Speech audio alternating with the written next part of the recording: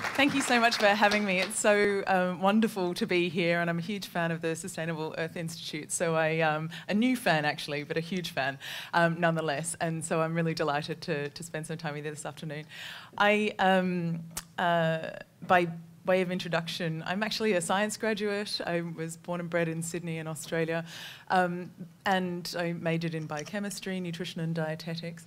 Um, but actually, I've spent most of my career in the private sector and um, bringing public health approaches, behaviour change models, um, and evidence based practice basically into organisations um, typically in roles that have become to be known um, as social entrepreneurs. So, kind of internal activists getting stuff done in a different way within an organisation. Because I really believe that organisations are just powerhouses of resource, actually. And if they can be directed in such a way that um, could help as part of some of the big global social challenges that we're all um, uh, confronting at the moment, then surely that would be a phenomenal um, breakthrough in, in progressing, in, uh, in, in achieving some, uh, some progress there. Um, and so, uh, as Victoria mentioned, I, I spent um, some time at Unilever, um, about 10 years. Five years of that was working on the Dove program. Um, and I now am a partner at uh, a firm called Brunswick, um, and I work in their business and society practice. And our whole practice philosophy is that in order to be a leading business today, you need to be able to demonstrate that you, sure, create financial value, because after all, that is the mandate and the role of businesses in, in the world but you also, crucially, must be able to demonstrate social value alongside that.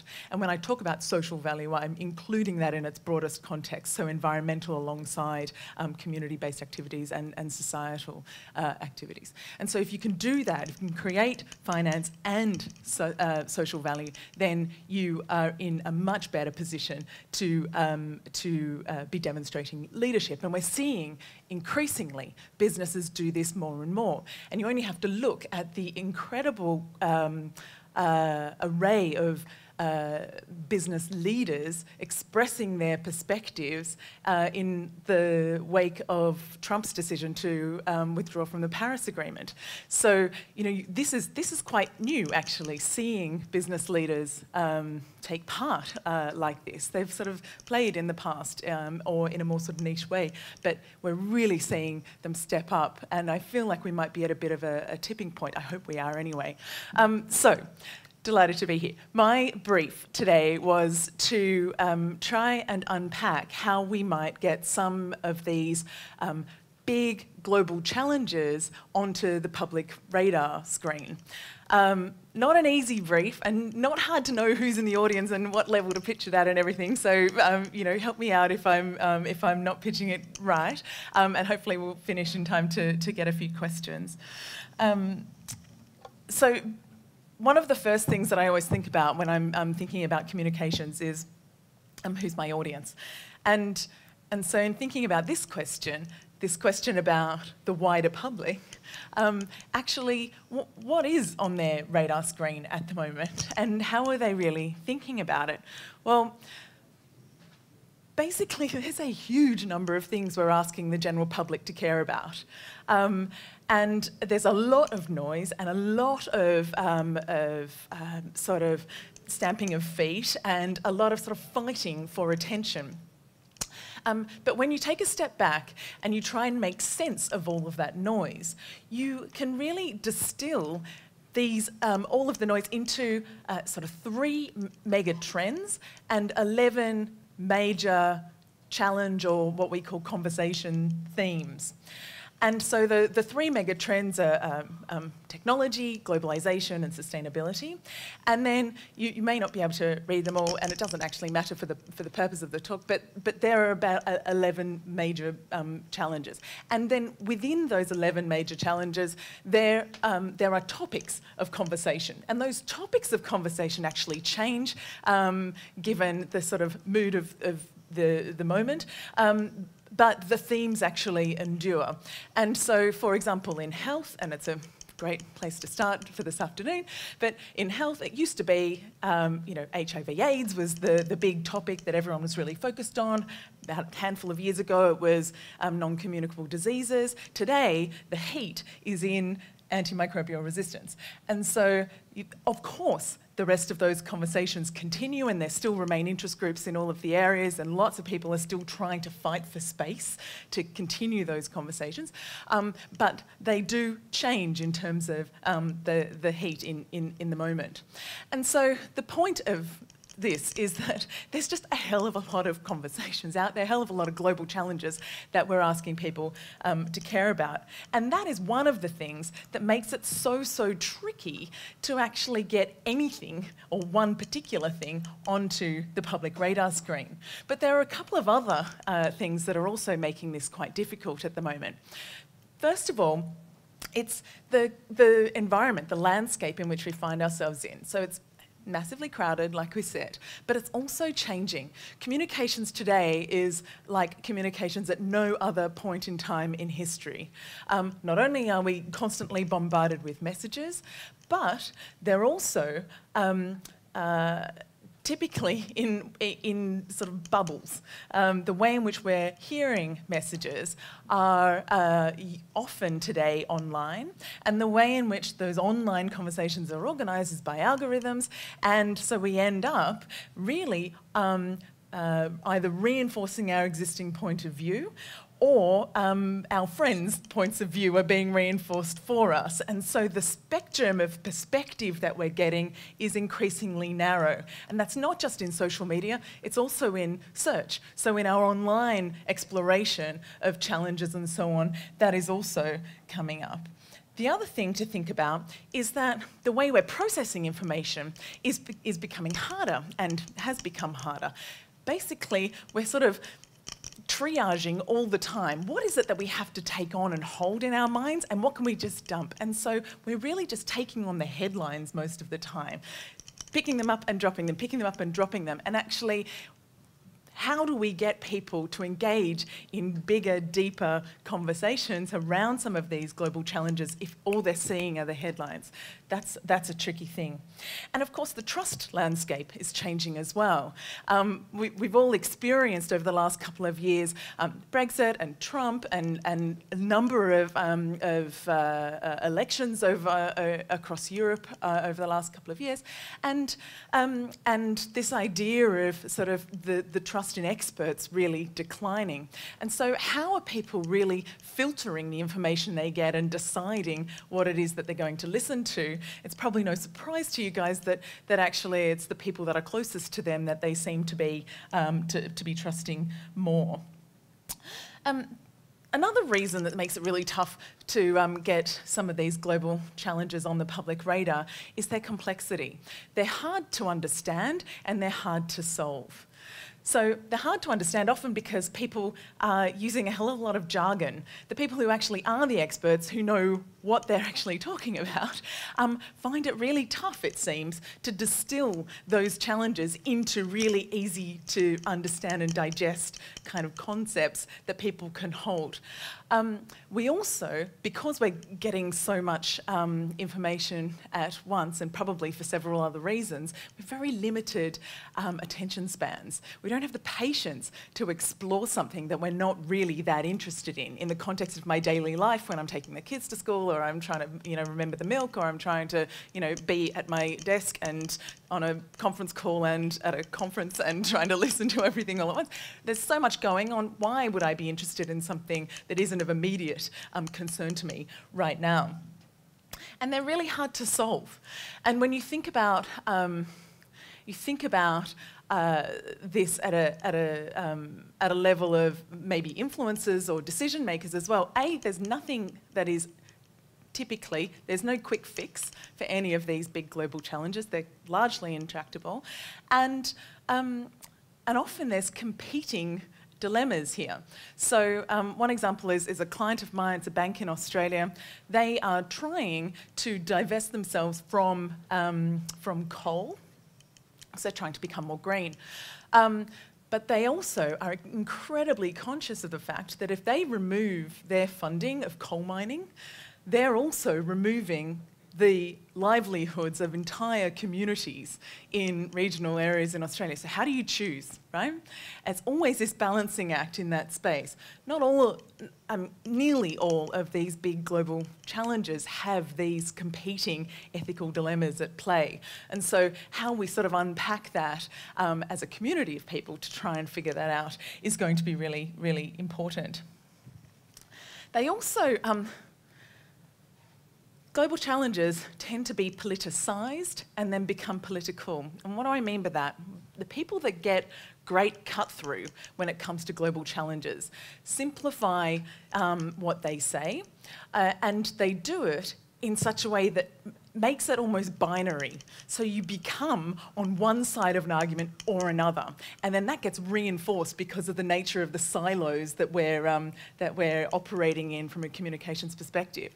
And so um, because they become you know, you sort of become tribal about it somehow. I think it should be uh, this way or that way. And then, and then that gets reinforced, and then that becomes what goes on to the policy agenda in many cases. And so that makes it really tricky as well, because when you're talking about complex global challenges, it very rarely is black and white. And, and lastly, of course, that makes it emotional, as many, uh, uh as many of you will, will sort of feel as, uh, about a lot of these global challenges. When you really care about um, something. Whether the outcome is positive or negative, you're, you're a winner or a loser, it's like really quite, people get really fired up about it. Um, and that's some of the reasons why it's so tricky to get these sort of technical, complicated um, um, challenges on, on people's um, on people's radars. Um, so how do we actually um, make some progress? as Victoria was saying, marketing and communication campaigns can help, I think. Um, and marketing is all about behaviour change. And there are loads of different models for, um, for um, demonstrating how you might think about behaviour change through marketing campaigns. This is one of my favourites, four simple steps, um, awareness, engagement, conversion and advocacy. How, uh, like, do I know about it? Have I heard of this problem? Um, then what, do I care about it? Am I engaged in it? Am I sort of emotionally invested? Can I think about it? Do I give up some of my already crowded headspace for it? Can I then take some kind of action, no matter how, um, how big or small? Can I act on this um, caring about this issue in some way? And then can I advocate for it? Can I actually share what I've done? Can I encourage other people to either become aware or care or take some kind of action as well? And so it becomes a bit of a, a bit of a, a, a cycle. And um, the thing that gets you started on any kind of marketing campaign is, if you're a disciplined marketeer, is a brief. You have to really kind of dissect the problem that you're trying to understand. And by problem, we need to understand the actual problem in the outside world and the communications problem that we have as well. So this is kind of a very, anyone who's a marketeer in the room will go, what are you talking about? Because it's very high level um, brief. Usually they're very, very detailed. But um, the first thing that people try and um, distill is what's the strategic objective? What problem is it that we're trying to solve? Secondly, what are the sort of dimensions of it? How big is it? How far do we want to reach with this kind of challenge? Then what are the mindsets or behaviours involved in creating that problem that we are trying to change through our marketing and communications. Who are the key players? What is our audience? Can we actually map them on the spectrum of awareness, engagement, conversion and advocacy? Because sure, sure enough, more people will be aware then there are people who will care, then there will be people who will actually take an action, and there will be people who will then pass on and become advocates, right? So, um, so can we kind of segment these people into these different buckets, but also, like, are they uh, really strong influences of other people? Like, I, either positively or negatively? Are they preventing people taking action? This sort of big mapping that people do often with, um, with their communications audiences insights is really critical. What do we know about each of these audiences?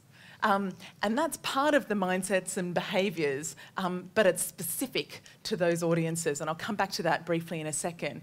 And crucially, what is the role for communications in driving that change? And I would argue that many times, and I see this in um, a lot of the work that I do with universities and with non government organisations, a lot of the time, um, the, the default thinking is let's get consumers on board, let's get the, the, the, sort of general public interested in this, and that will create a demand because why wouldn't anyone want to be on board? And then I feel like my earrings are like jiggling here. Are they? I'm really sorry. What I was, I was saying is that most people, um, oh, oh it's a really common thing to think that let's create great, like this sort of swirl of public activity, and then, um, and then the problem will at least be opened up to other audiences, and then maybe we might drive some progress. And whilst that's true in many instances, it's not always true. And in fact, if you look at things like, uh, or global challenges like the transition to renewable energy, you know, we could all be doing every single thing in our power as individuals to support that. But actually, there are two main drivers of that transition technological breakthroughs and, um, and green financing, like energy financing, the econ economics that sit behind it. And so, actually, you'd be far more impactful far more efficiently if you targeted the top 100 players in that space got them on board to change than you would be in trying to like get all the people in the grassroots moving. So that's one thing. The other example I would use there would be conflict minerals. And so whilst people whilst a portion of society, and not everyone, can be uh, encouraged to care about the six-year-old in the Congo digging for tungsten, mining for tungsten, um, actually, a campaign that drives that sort of awareness around that problem is not going to be as effective as getting together the likes of Intel and a handful of other companies alongside regulators and um, leading NGOs that are operating in that space, and then them taking a lead on that. And so just bear in mind, I guess, is my message there, that the role for communications can sometimes be in lobbying for change at the individual level or in the sort of small community level as it is in, um, in, the, in the general public. And then how will we know we're successful? I mean, that's kind of best practice, right? Like, what's the evaluation part? I said I'd come back to insights. Um, this is a very, very high level um, tool, but it's something that I find incredibly useful every time I'm going into some kind of communications moment. Um, and this is something I use both with individuals as well as with um, mass media campaigns and population driving um, population changing campaigns. Um, listen to me, population changing, like I hope it's population changing, but the intention being how do we set them up? Um, the insight, and a hell of a lot of research goes into the left-hand side here. The insights are really trying to understand what is it that the key audience that, we've that we're targeting currently do in relation to this problem. And what are they also currently thinking, feeling and believing about it? That's where we are today. Then where do we want them to be? What is it that we actually specifically want them to do? How can we break it down so it's a singular action? What do we want them to be thinking, feeling, and believing after the campaign or tomorrow, as such? So, um, and once you've sort of crystallized what that is, you can then think about um, the types of communications that you can um, put together, types of content, the language, the messaging that you use, as well as the visual imagery and the nature of the, the communications channels that you might be using, the conversation that you're trying to start. Um, and there are three kind of um, key principles when trying to move people sort of um, from awareness right through um, uh, the continuum to, um, to advocacy. And the first is um, being single minded. How can we be really strict with ourselves to focus on one thing? What is the one thing we want them to know? What is the one thing we want them to care about? What is the one thing we want them to do? And what is the one thing we want them to tell their mates about? Like, that is so hard in complex challenges, right? Really, really tough. But it's so effective when you get it right. And what it means is we, as people that want to drive change, need to actually be quite patient, or we need to have lots of these going in a coordinated way. But in a single communications moment, you've got one thing to say. Um, the second is authenticity. How credible can your voice be? And a huge thing about credibility is being consistent. Consistent in your tone, consistent in your stance that you take on things. And if you're changing your mind on something, being able to justify and explain it. Just consistency is, is absolutely key there. And making it easy. Like the, the best way to get someone to take an action is to remove the barriers from taking an action. You know, it's like, how do you um, um, get people to, this is a very um, complicated example, but I used to use it when I was doing um, um, physical activity training and stuff like that in my, in my early career. Um, how do you get people to exercise, right? Obviously, there's lots and lots of complex um, elements of this. But do you motivate the hell out of them with your high ponytail and your big sort of jazzy stuff? Or do you just take away why they're not exercising? You know, do you give them a bit of extra time or do you give them a bit of confidence? You know, like it's not, it, I totally appreciate how simplistic I just made that, but, um, but you get the point, right? You're kind of reducing um, the barriers. And I know I've only got a couple of minutes, but I'm going to canter through some of the sort of just tips that I um, might offer from things that I've picked up over, over, over the years um, of how to convince people to move to the next stage in the continuum. And it all comes down to what you say and how you say it. And so, a few things on the what you say put your audience first. So, um, people just um, want to hear what is relevant to them. The evidence that you might use um, to, to convince one of your friends um, will be entirely different to what would convince someone who isn't in the same circle as you, right? So think about what would convince them. And a tool that I often use is asking, so what? So we've got this problem, so what?